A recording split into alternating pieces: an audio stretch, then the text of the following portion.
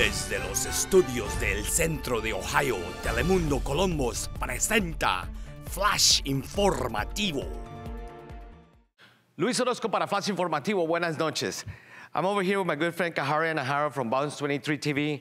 Kahari, what do you think about those uh, conversations about the crew leaving Columbus? Oh, it, it saddens me because I used to go out to some of the crew games. I just don't know who's going to replace them if they leave. Well, you know, funny you say that, Kahari, because uh, there was an announcement about uh, FC Columbus. A, oh. It's a soccer team that's coming to the Columbus area. Mm-hmm.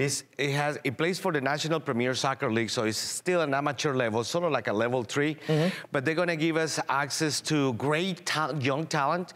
You could be a college player and still be able to play on that league and go back to your college in September because the league plays from May, which is going to be in a couple months, all the way to August. So it's a wonderful opportunity to It have is. some kind of a, you know, uh, sort of like transition. So, so even though they're leaving, we will have soccer in Columbus. We will have two teams playing in Columbus soccer in the 2018 season. And it's interesting enough, these guys are going to go and play in Grandview High School. Obviously, the tickets are going to be a lot cheaper, Mm-hmm. and it's going to be fun watching young talent play and develop.